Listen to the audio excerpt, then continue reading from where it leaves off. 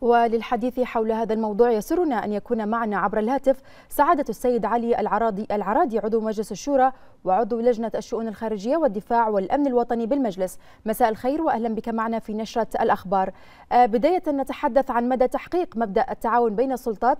لدى كل من السلطة التشريعية والسلطة التنفيذية. مساء الخير وانتهز هذه الفرصة لمسي بالخير عليك وعلى السيدات والسادة المشاهدين وأشكركم على هذه الاستضافة.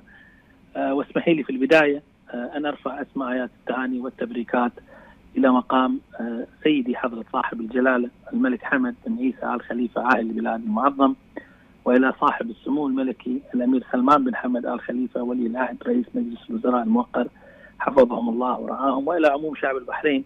بمناسبة هذه الذكرى العزيزة على قلوبنا ذكرى ميثاق العمل الوطني. هذه المناسبة التي تشكل لنا طبعا انطلاقة للمسيرة الديمقراطية التي دشنها جلالة العاهل المعظم. وهي طبعا مناسبة اسمحي لي في عجالة لكي نجدد مشاعر الحب ونجدد كذلك العهد لسيدي صاحب الجلالة ولكي نؤكد على مواقف شعب البحرين من هذه الوثيقة التاريخية التي أشركت الشعب في صنع القرار وشكلت في مجملها لبنة أساسية انطلق من خلالها المشروع الإصلاحي.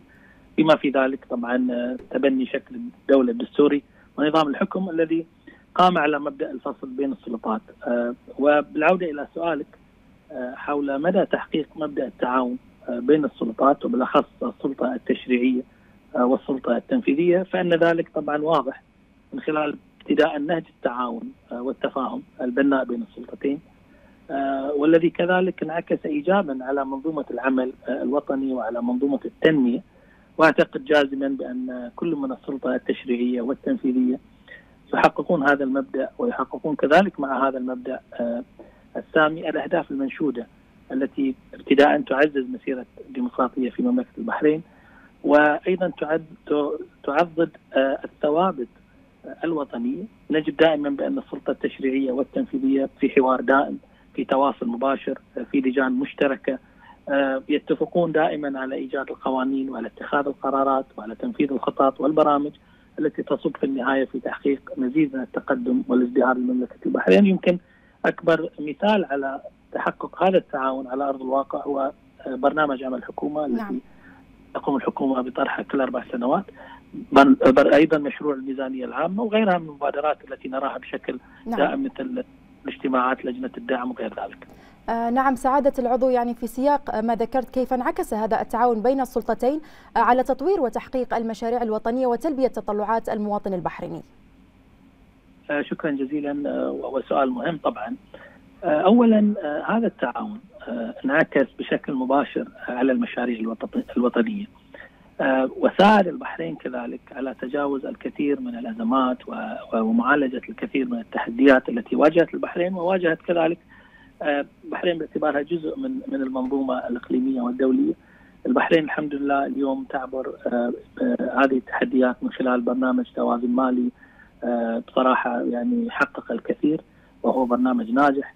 البحرين بفضل هذا التعاون حتى يعني إذا أخذنا في سياق السنوات الماضية استطاعت أن تعبر جائحة كبيرة تأثرت منها يعني معظم الدول ولكن البحرين استطاعت من خلال هذا التعاون ومن خلال طبعا التوجيه السامي الدائم إلى أن هي يعني تتجاوز هذه الجائحة وتكون البحرين في وضع دائما أفضل.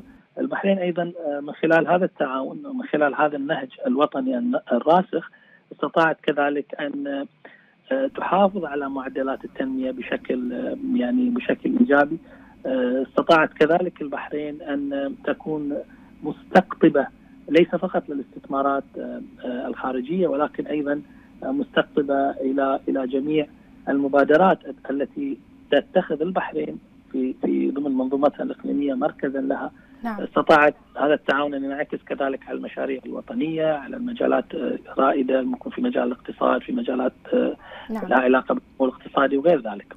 نعم سعادة السيد علي العرادي عضو مجلس الشورى وعضو لجنة الشؤون الخارجية والدفاع والأمن الوطني بالمجلس.